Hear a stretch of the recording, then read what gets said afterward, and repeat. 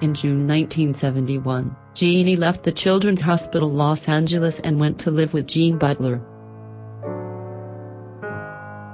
Butler was one of Genie's teachers at the hospital. Genie lived with Butler until August 1970.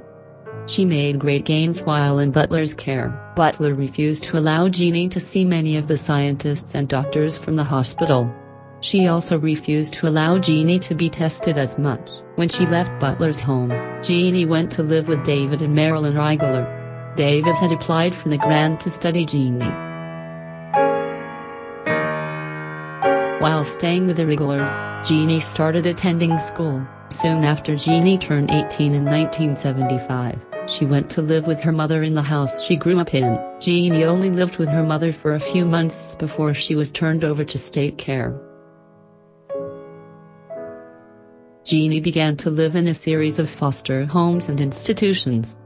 Many of these living arrangements would, once again, expose Genie to severe physical and emotional abuse. Today, Genie is still living in the care of the state of California. The last reported update was in 2000. At that time, she was said to have been doing well.